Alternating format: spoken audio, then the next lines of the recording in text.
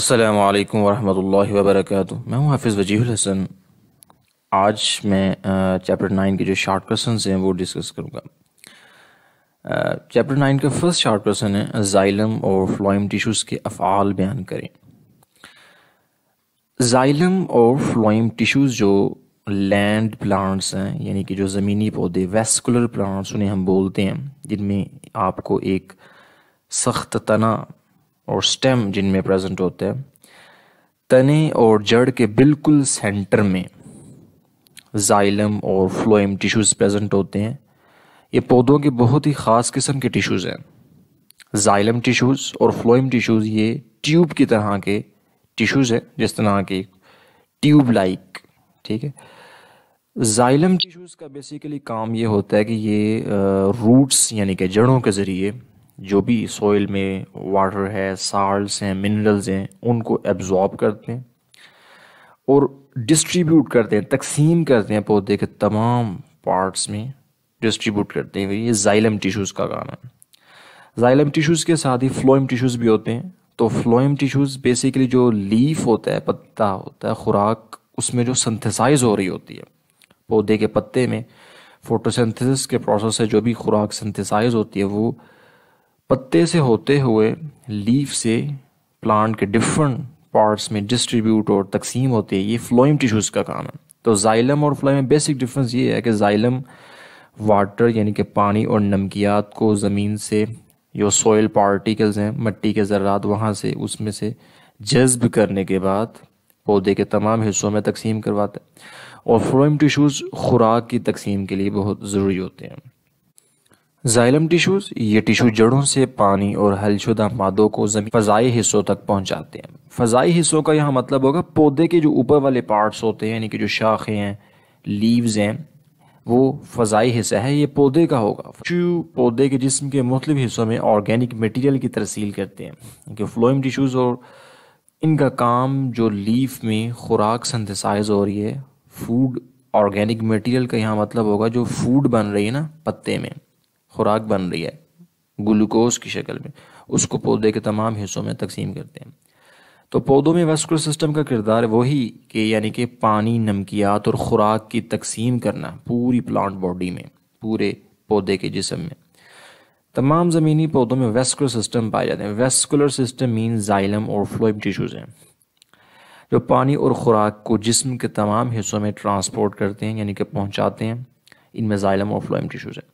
आगे है vascular system में पाए जाने वाली दो नालियों के नाम लिखे। मैंने बताया था कि जो जाइलम और फ्लोइम टिश्यूज़ हैं, ये ट्यूब लाइक होते हैं। स्टेम यानी कि तने और जड़ के बिल्कुल सेंटर में, दरमियान में होते हैं। तो जाइलम वेसल्स और phloem vessel vessel just like बोलेंगे ट्यूब को। पौधों में जड़ का फेल तहरीर, यानी कि जड़ का जो काम है वो तहरीर कीजिए।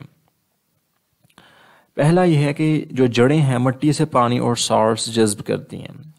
रूट्स जो हैं, इनका एक ही बेसिक फ़ंक्शन है, यानी कि ज़्यादा से ज़्यादा वाटर को अब्जॉर्ब करना साल्ट्स को अब्जॉर्ब करना मिनरल्स को carbon nitrogen phosphorus sulphur potassium magnesium ये सारे मिनरल्स और साल्ट्स जो हैं, ये जड़ें अब्जॉर्ब करती हैं।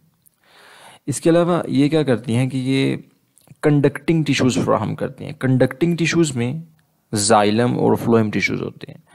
जाइलम और फ्लोएम टिश्यूज़ जड़ों से होते हुए सीधा स्टेम में और फिर आगे शूट्स यानी कि ब्रांचेस तक जाते हैं और लीव्स के अंदर तक फिर ये पहुँचते हैं।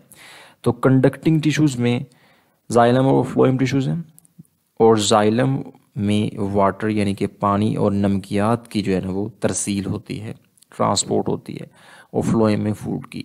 तो दूसरा फ़ंक्शन यह है कि ये पानी और साल्ट्स को तने के टिश्यूज़ तक पहुँचाने के लिए कंडक्टिंग टिश्यू फ्राहम करते हैं।